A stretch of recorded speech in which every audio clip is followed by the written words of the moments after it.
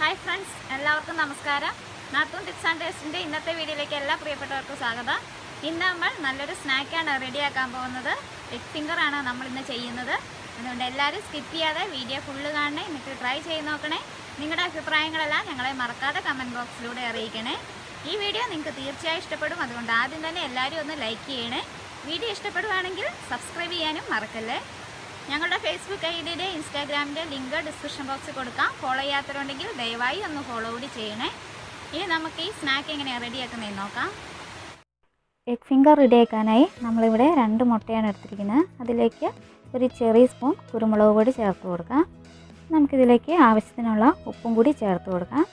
എന്നിട്ട് നന്നായി ഇതൊന്ന് ബീറ്റ് ചെയ്തെടുക്കാം.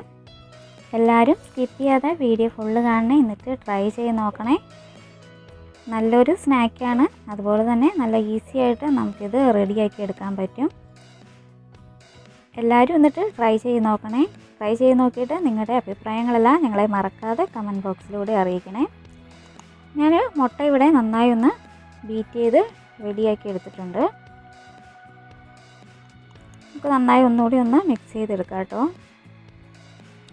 ഞാൻ ഇതൊഴിക്കാനായി ഒരു ടിഫിൻ ബോക്സ് ഓയിൽ പുരട്ടി വെച്ചിട്ടുണ്ട്. അതിലേക്ക് നമ്മൾ റെഡിയാക്കി വെച്ചിരിക്കുന്ന മുട്ട ഒഴിച്ചു കൊടുക്കാം. നമുക്കിതൊന്ന് ഇതുപോലെ ഒന്ന് ലെവലാക്കി കൊടുക്കാം. ഇനി നമ്മളിത് ആവിയിൽ വെച്ചാണ് വേവിച്ചെടുക്കാൻ പോകുന്നത്.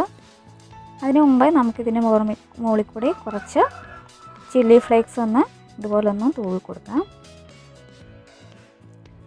ഞാനിവിടെ ഇഡ്ഡലി പാത്രം നേരത്തെ ആവി കയറ്റി വെച്ചിട്ടുണ്ട്. അതിലേക്ക് നമുക്ക് ഈ ടിഫിൻ ബോക്സ് വെച്ച് കൊടുക്കാം.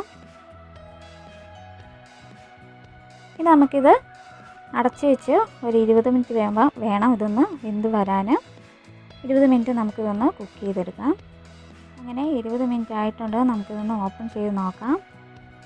ഇതാ നമ്മുടെ മുട്ട വെന്ത് റെഡിയായി വന്നിട്ടുണ്ട്. നമുക്ക് ഫ്ലെയിം ഓഫ് ചെയ്യാം. എന്നിട്ട് ഇത് നമുക്ക് എടുത്ത് മാറ്റാം.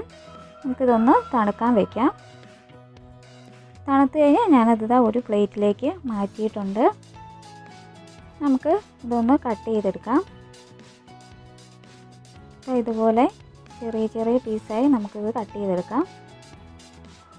ഞാനൊരു പ്ലേറ്റിലേക്ക് ഒരു സ്പൂൺ മൈദ എടുത്തിട്ടുണ്ട്.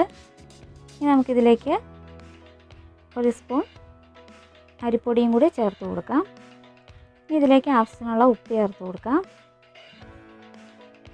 ഇനി ഇതിലേക്ക് കുറച്ച് ചില്ലി ഫ്ലേക്സ് കൂടി ചേർത്ത് കൊടുക്കുന്നുണ്ട്. എന്നിട്ട് ഇതെല്ലാം കൂടി നമുക്ക് നന്നായി ഒന്ന് മിക്സ് ചെയ്തെടുക്കാം. ഞാനിതിലേക്ക് ഒരു കാൽ ടീസ്പൂൺ ഗരം മസാല കൂടി ചേർത്ത് കൊടുക്കുന്നുണ്ട്. എല്ലാം കൂടി നമുക്ക് നന്നായി ഒന്ന് മിക്സ് ചെയ്തെടുക്കാം. എല്ലാവരും ട്രൈ ചെയ്ത് നോക്കണേ. ഇനി ഞാൻ വേറൊരു മുട്ട ഒരു പാത്രത്തിലോട്ട് എടുത്തിട്ടുണ്ട്. നമുക്ക് നന്നായി ഒന്ന് ബീറ്റ് ചെയ്തെടുക്കാം.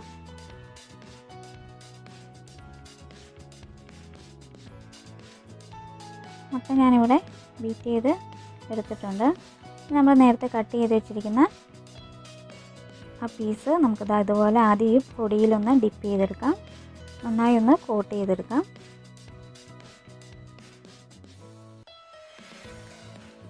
ഇനി ഇത് നമ്മൾ ബീറ്റ് ചെയ്ത് വെച്ചിരിക്കുന്ന മുട്ടയിലേക്ക് മുക്കിയെടുക്കാം. ഇനി ഇത് നമ്മൾ ബ്രെഡ് പൊടിയിലേക്ക് ഡിപ്പ് ചെയ്തെടുക്കുകയാണ് ചെയ്യുന്നത്. നന്നായി ഒന്ന് ബ്രെഡ് പൊടി കോട്ട് ചെയ്തെടുക്കണം.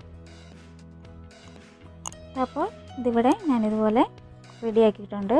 ഇനി ഹൈ ഫ്ലെയിമിലിട്ട് ഓയിൽ നന്നായി ചൂടാക്കിയിട്ടുണ്ട്. ഇനി തീ ഒന്ന് ലോ ഫ്ലെയിം ആക്കിയിട്ട് നമുക്കതിലേക്ക് ഡിപ്പ് കൊടുക്കാം.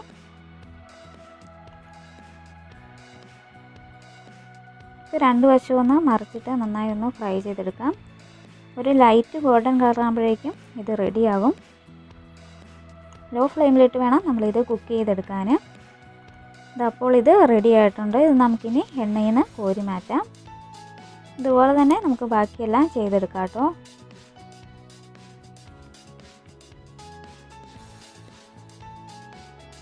ഇതാ അങ്ങനെ നമ്മുടെ എഗ് ഫിംഗർ റെഡി ആയിട്ടുണ്ട്. ഞാനൊരു പാത്രത്തിലേക്കെല്ലാം മാറ്റിയിട്ടുണ്ട്.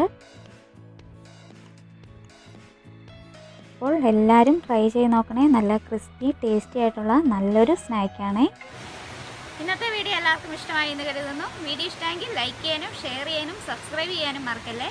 മറ്റൊരു വീഡിയോയിലൂടെ കാണുന്നവരെ ബൈ